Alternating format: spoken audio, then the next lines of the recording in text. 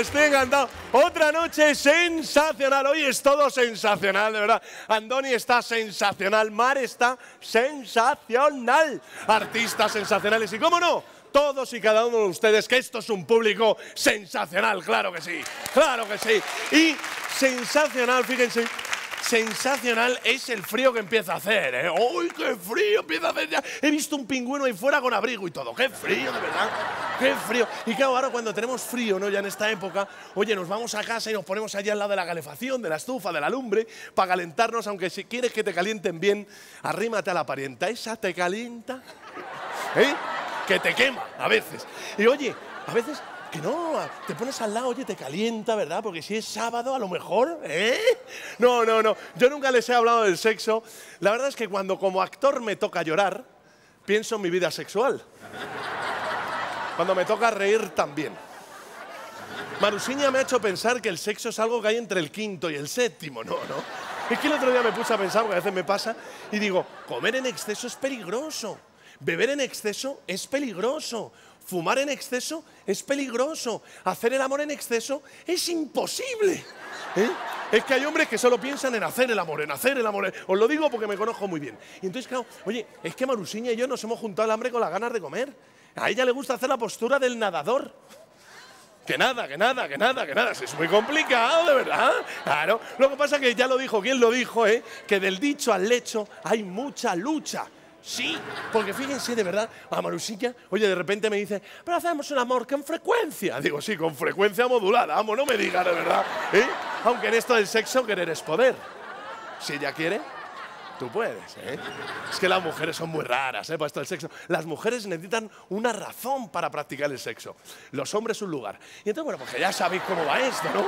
Hay que esperar a que haya luna llena, Júpiter y Venus estén más o menos alineados sea día impar y a lo mejor. Pero cuidado, eh, cuidado con qué postura utilizamos. Al cebollas casi le cuesta el matrimonio. Sí, porque a mi amigo le gusta hacerlo a la australiana que desnuda a la mujer y luego se lo quiere hacer con la canguro. Eso te puede costar el matrimonio. Claro, eso te puede costar el matrimonio. Pero digo todo esto, digo todo esto porque sobre todo nosotros tenemos muchos, mucho, mucha culpa ¿no? en esto del amor.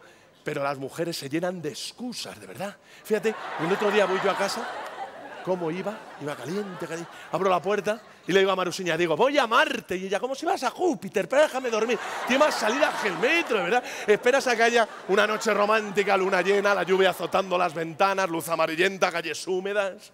Y de repente la coges allí y la susurras al oído, ¿no? Y dice, hoy te voy a hacer ver la luna y las estrellas. Que ella, te has comprado un telescopio. Son todos reproches, son todos reproches porque cuando nos casamos, oye, no le importaba nada, todo le gustaba, todo le valía, todo le hacía disfrutar.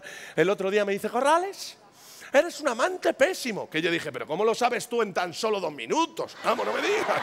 Pero me digo todo esto porque a mí me gustan las historias ajenas, ¿no? Sobre todo cuando me hablan de amor. Fíjense, la hermana de Maruseña está casada con, con un hombre, mi cuñado, ¿no? Da la casualidad. Y fíjate que el otro día me dijo mi cuñado, me dice, si yo muero antes que la hermana de Maruseña, estate muy atento a ver si consigues que se case con Venancio, el de los autobuses. Digo, pero si es tu peor enemigo. Y me dice, por eso, que se fastidie un rato él, ¿eh?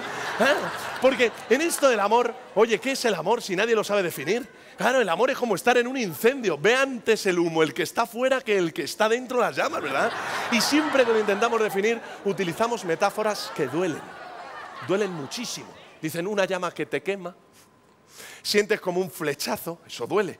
Que te dan con un dardo, eso duele, eso duele. Pero claro, en esto del amor sobre todo hay que tenerlo en casa porque si no ya se sabe que se sale a buscarlo fuera. Yo estoy en contra de esto de la infidelidad, estoy en contra. ¿Quién quiere tener dos mujeres? ¿Quién quiere ser vígamo? ¿Te imaginas tener dos suegras? Eso tiene que ser horroroso, horroroso. Pero digo esto porque fíjense que una historia real y familiar fue de infidelidad, hablo, ¿eh? Fue mi tío Severino, 35 años casado con Roberta Severino, que en paz descanse, fíjense, estaba allí en la cama del hospital, estaba allí ya en sus últimos minutos, y le dice Severino, le dice a mi, tía Roberta, ¿no? Le dice, Dime si. Estaba, estaba así, estaba ya muy malo él, ¿no? Estaba ya en lo suyo. Dime, Roberta, dime si, si me has sido infiel, si me has engañado en esta vida. Y Roberta le dijo, antes de decirle nada, miró al médico, el médico le dijo, le quedan unos minutos, diga usted lo que quiera. Y le dijo, te he sido infiel tres veces en la vida. Y dice, Severino, mi tío, dice, no pasa nada, estoy seguro que te puedo perdonar, dímelas. Dice, la primera vez fue cuando te echaron de la empresa, ¿no? De la fábrica. Tuve que hablar con el jefe, una cosa llevó a la otra, bueno, te readmitieron. dice, bien, bien, bien, sos muy noble por tu parte, cuidando de la familia. Dice, la segunda, dice, hombre, la segunda fue cuando te acusaron de desfalco, que tuve que hablar con el juez para que te sacara esa misma noche de, de la carcelilla, ¿no? Del calabozo. Y oye, una cosa llevó a la otra, y dice, vale, vale, sigue hablando muy bien de ti, esto, velando por la familia. La tercera vez hombre, la tercera vez fue cuando te presentaste a alcalde y sacaste 5.000 votos. Entonces, Severino se murió. Se murió, descanse en paz. Se murió porque, fíjense, fíjense en esto, nos ha dejado, Severino nos ha dejado al tonto del pueblo, el hijo. Es tonto, le ves y mm, es tonto. Es tonto, si es que no puede ser otra cosa con esa cara, mm, tonto. Y el otro día viene al bar del pueblo con un móvil. ¡Oh! Último modelo, un teléfono móvil de estos que tiene de todo, correo electrónico, GPS, cámara de vídeo, cámara de fotos. Se podía hablar hasta por teléfono, eso era la bomba. Y entró en el bar la semáforo, que le llamamos así a la chica, porque no la respetábamos nadie a partir de las 12 de la noche, ¿no? Una mujer de estas, ya saben ustedes, ¿no? De moral distraída, de estas que, te tutean, te aman de tú, fuman mucho, ¿no? Y entonces, claro, la, semáforo vio el móvil del tonto y dijo, si yo me ligo al tonto, a lo mejor el tonto me da el móvil. Tú fíjate esto. Claro, y le dice la semáforo, le dice al tonto, dice, si te doy un beso me das el móvil, y dice el tonto, no, no, no, no, no. Claro, pedazo de móvil, esto no. ¿Y si te enseño el pechito? ¿Me das el móvil? Y dice el tonto, ¿pechito?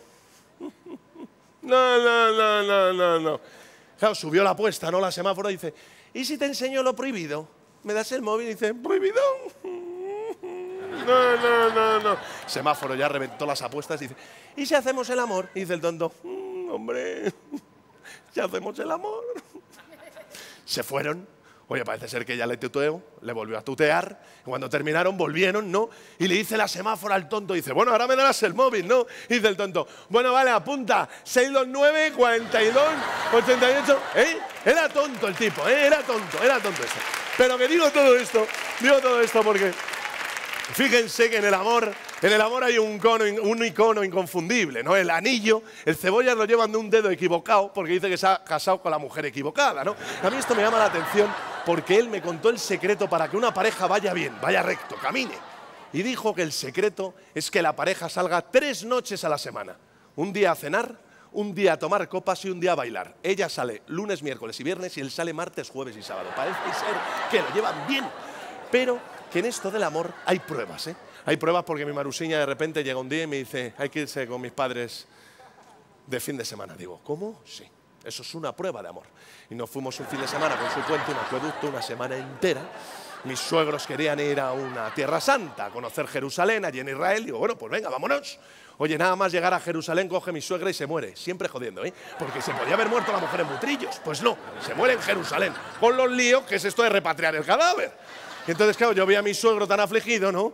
A mi marusiña un poquito dañada, ¿no? De, los sentimientos y dije, no os preocupéis, que ya me ocupo yo y fui al consulado español, allí me presento, hablo con el cónsul y me dice, hombre, esto cuesta 5.000 euros repatriar el cadáver, que yo dije, madre mía de mi vida.